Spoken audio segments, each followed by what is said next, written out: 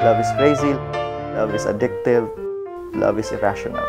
Paano nga ba nauuwi sa kasalan ng isang pag-iibigan? Love does not end, it changes. It just changes in form. Kapag tumibok ang puso sa Cheche Lazaro Presents